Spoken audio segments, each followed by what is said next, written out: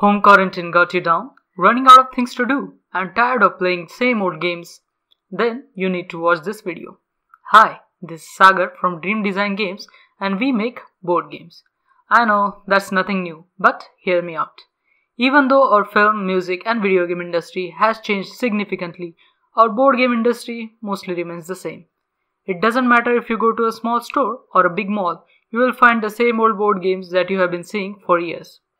There's nothing wrong with these games. We all like them, but I think we deserve more. And with this thought, we started making new and innovative board games. Because we think board games are the still best way to bring family and friends together, start up a lively conversation, and have a friendly competition. Turns out there are a lot of people who think like us and love board games as much as we do. So we started playtesting our games in larger group for better feedback. And once we had enough smiling faces who loved our games, we started manufacturing for local markets. With a plan to launch some of them over the summer break.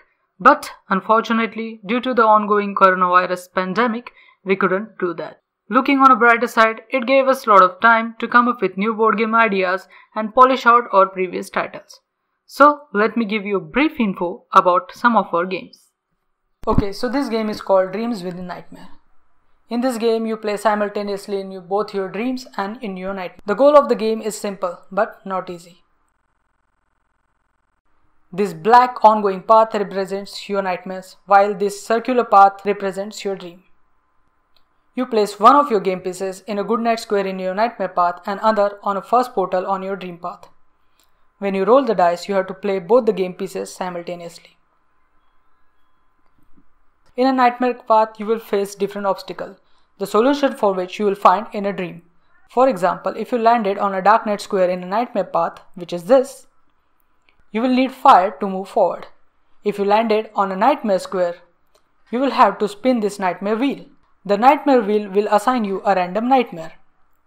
Each nightmare have different conditions that you have to follow in order to progress. Let's say after spinning the wheel you have Spider Queen. The condition for spider's Queen is that whatever you roll, you have to play half the rolled numbers. So if you roll 6, you have to play 3. If you roll 4, you have to play 2. If you roll 1, well, you can't play. If you want to get rid of the spider, you have to find a bug spray dream card in a dream path. You have to land on a dream square in a dream path to get that particular card. There are different kind of squares in a dream path. A fire square, a switch card square, a dream card square, a guardian angel which protects you from other dreamers or other players from killing you if they landed on a same square as you.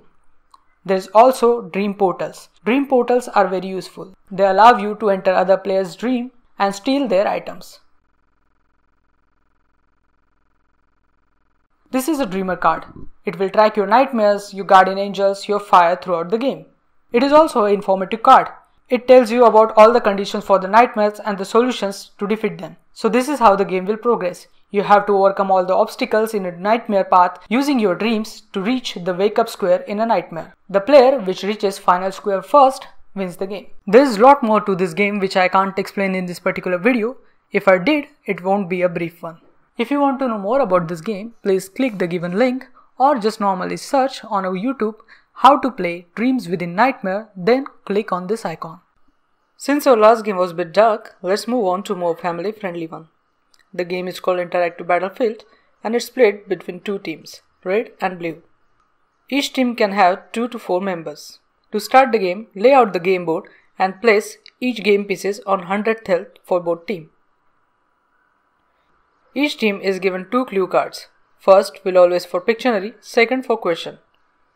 For first clue card, one of the player from the team draws while other tries to guess what he is drawing within a 1 minute. For question, one of the player asks the question for which the answer should be the given clue card. For each correct answer, the team will earn 10 points. So if you are given one correct and one wrong answer, you will earn 10 points and 0, which you will write on this battle card and put it face up on the game board. Now the second team will play. What makes this game interesting is this risk and reward wheel. This will make your normal task much harder for better rewards. So let's say you have chosen a Pictionary clue card and you think the given clue is very easy. If you spin and land on a magnet pen, you have to draw the picture without lifting your pen. The rewards point you earn are mentioned on the wheel. So if you get right after drawing with your left hand, you will earn 20 points to a chosen battle card. So the 10 points for the correct answer plus 20 points for that particular task that you have accomplished. Same goes for the question cards. If you spin the wheel for question cards and you land on two words to say, you have to provide two referential words for the particular clue. For example, you can say cake and candles. So it will be much more easier for a person to guess it's a birthday. If you spin and land on time to rhyme, you have to make up the rhyme for which the answer will be the given clue card. This is how the game will progress throughout the three rounds. Once all the battle cards are placed on the game board, the score will be calculated. Let's say the red team has earned 40 points and the blue team has earned 60. The difference between that is 20 points. So the red team will get 20 damage. The player who manages to get their opponent's health to down to 0 wins the game. Our next game is Checkout. In this game, you play either as a security officer or as a traveler. As a traveler, you have to take all the illegal items and the banned items throughout the checking point. and as an officer, it, it is your job to stop them. Security officer has different tools to detect the hidden items, like scanner, pat down, and a sniffer dog. Traveler has two ways to carry his illegal items, in a bag or in a person. On Traveler's turn, he will place a small illegal item card inside a bag or a person card and, and place it face down on the game board. Now the security officer will ask him, what are you carrying? The traveler can give a deceiving answer here. Now the security officer has to make a judgment. If he guesses the correct card, he will earn one blue flight token worth 1 point. If he guesses wrong, the traveler earns that blue flight token worth 1 point. Now that it is revealed that it is a bag or a person, he will have to use a correct card to detect the hidden item. Let's say a traveler is carrying a bomb. Now, if a security officer uses a scanner or a pat down, he won't be able to detect it and it will be passed through the checkout point and he will earn a red flight token worth 2 points. If a security officer uses a sniffer dog, then he will be able to detect the hidden item and he will earn a red token worth 2 points. The game is played for 2 rounds. After first round, the roles are switched. The traveler will now play as a security guard, the security guard will play as a traveler. There are different difficulty levels in the game. You can carry more illegal items to make the game much more difficult or less to make it easier. Between the first and second round, a small minigame is played called Mystery Box. There are 6 unique items in a mystery box. One player hides the item while others tries to guess it. Winning the mystery box will earn you special cards. If you earn a mystery box as an officer, you will get a special security card, which will allow you to use two security cards at one time. If you win Mystery Box as a traveler, you will earn a Sneaky Traveler card. A Sneaky Travel card allows you to carry 2 to 3 items in a single card. After the both rounds are played, the tokens are calculated. The player who has most token wins the game.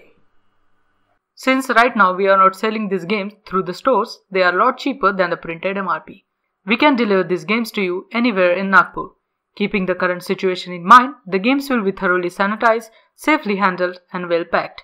So if you want to buy or have any questions about the games, you can call or WhatsApp me on the given number. You can also send me an email on dreamdesign205 at the rate gmail.com. Thank you for watching. Stay home and stay safe.